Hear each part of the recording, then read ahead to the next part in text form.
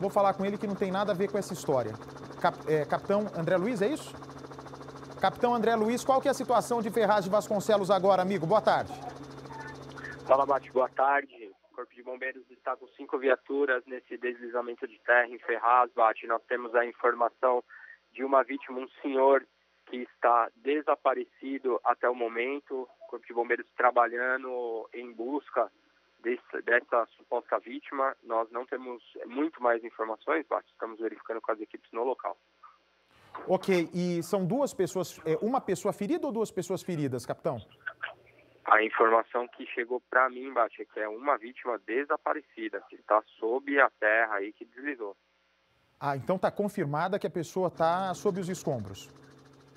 Enquanto, sim. Essa informação vem das equipes que estão no local. Obviamente que nós estamos criando essa informação a todo tempo, mas nós trabalhamos com a hipótese, portanto, de uma vítima que está desaparecida. E é, é casa, a família, parte da família conseguiu fugir, ou capitão? O que, que nós sabemos? É difícil, Bate, nesse momento, falar que é, existe mais pessoas desaparecidas ou não. A única informação que nos chega realmente é que há esse senhor que teria ficado na residência no momento em que houve o deslizamento de terra. Ok, capitão, aqui para São Paulo, depois da tragédia que nós vimos, e a gente sabe do trabalho intenso e enérgico que os bombeiros estão tendo para salvar as pessoas, né, para resgatar os corpos no litoral de São Paulo. Para que isso não se repita aqui na cidade de São Paulo, várias cidades aqui da região metropolitana são tomadas por morro.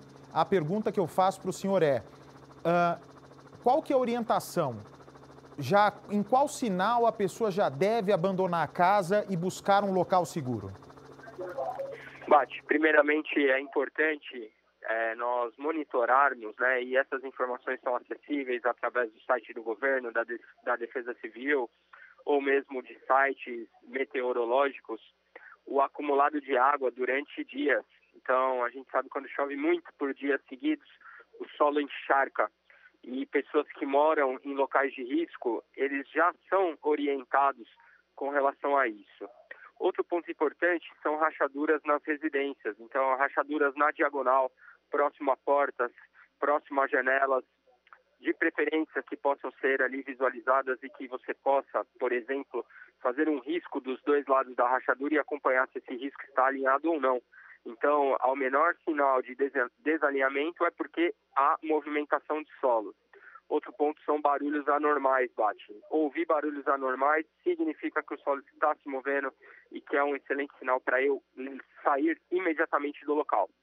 Tá certo. Muito obrigado aí ao também... capitão ao capitão que está no litoral norte de São Paulo nessa batalha e nos traz informações aqui em São Paulo. Nós precisamos aí do, da ajuda dos bombeiros, que já está com uma demanda muito grande no litoral e que Deus faça essa água cair só nas represas, porque na área povoada, na, ala, na área habitada, nós já estamos sofrendo muito. Um grande abraço, capitão, muito obrigado.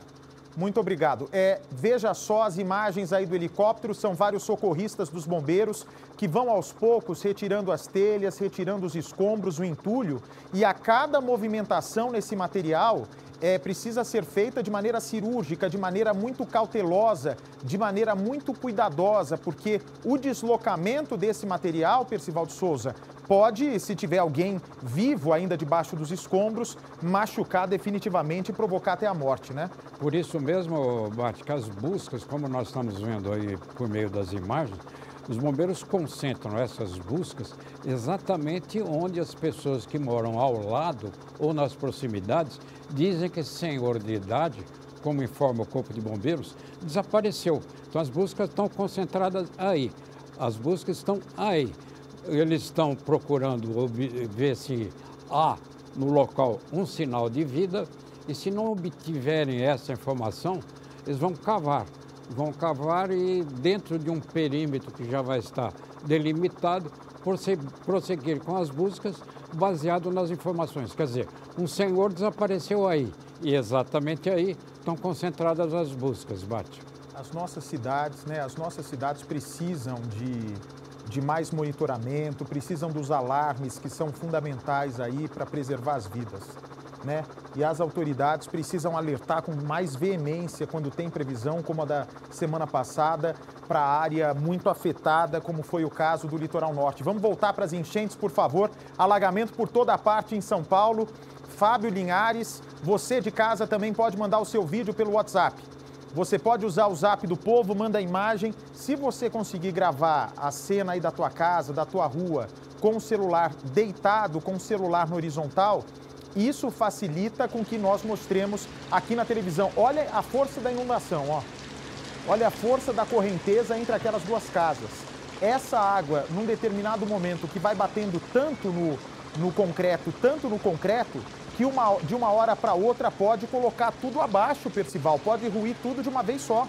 Pois é, esse, você vê esse lugar que nós estamos mostrando agora, quer dizer, as águas correm com intensidade é um córrego que está nos limites, chega a transbordar em alguns pontos e um córrego sempre vai, caminha, vai avançando em direção a um rio, Bate.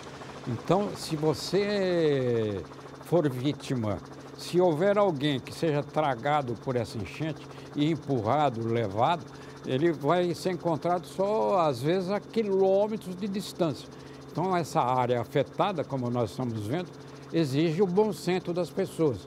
Não saírem de casa, não se aventurarem caminhando exatamente por lugares que não sabem o que tem à sua frente. Pode ter um bueiro aberto, pode ter um buraco, pode ter algum imprevisto.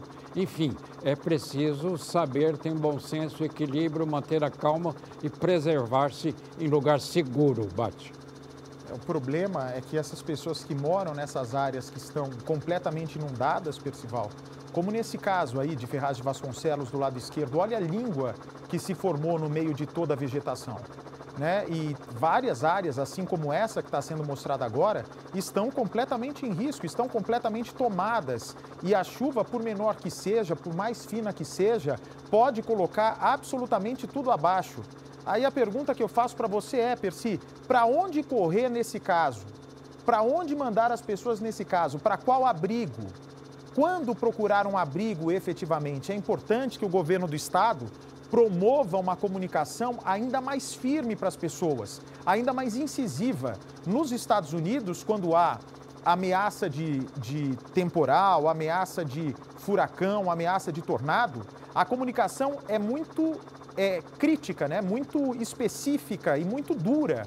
Às vezes até para parece que é para provocar pânico, mas muitas vezes é para provocar pânico na sociedade, dizendo é uma chuva com proporções, com, com possibilidade de, de devastação.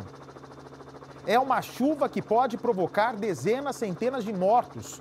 Então é preciso que isso seja dito com muita força, com muito rigor, porque se a pessoa procura um local e não dá nada na chuva, melhor ainda, graças a Deus ninguém se feriu.